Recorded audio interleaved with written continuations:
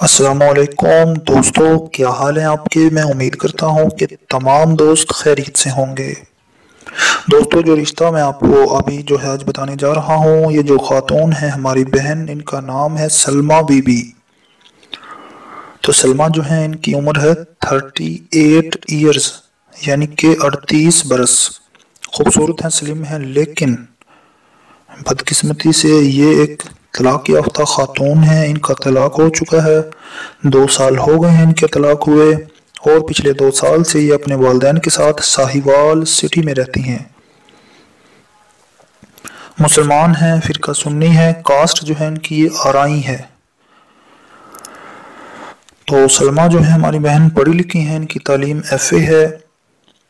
اچھے گھرانے سے ہیں۔ ان کی جو ہائٹ ہے، وہ پانچ فٹ ہے۔ خوبصورت ہیں۔ اس کے علاوہ یہ ایک کمپنی میں جو ہے جاب بھی کرتی تھیں پرائیویٹ کمپنی میں۔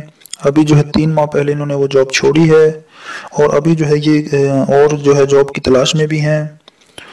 تو ان کے جو والد صاحب ہیں، وہ یہ چاہتے ہیں کہ اپنی بیٹی کی وہ دوبارہ سے شادی کر دیں۔ تو ان کو کسی ایسے رشتے کی تلاش ہے کہ لڑکا جو ہے اس کی عمر پینتالیس برس تک ہو۔ پہلی یا دوسری شادی کرنا چاہتا ہو۔